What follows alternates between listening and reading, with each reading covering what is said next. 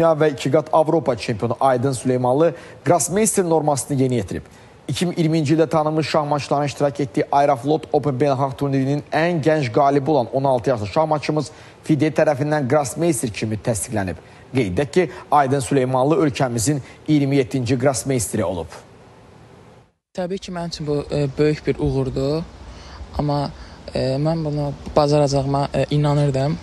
Qeyd edim ki, e, Azərbaycanın 27-ci Grossmeisteriyəm. Aktiv olaraq isə e, 24-cü Grossmeister oldum. Avqustun e, 24-də kişilər arasında keçiriləcək Avropa çempionatında e, iştirak eləyəcəm. Qeyd edirəm ki, yarış e, İslandiyanın Reykjavik şəhərində keçiriləcək. Ondan sonra isə e, Makedoniyada keçiriləcək olan klublar arası Avropa çempionatında iştirak eləyəcəm. E, Vüqar Aşimov e, komandasının tərkibində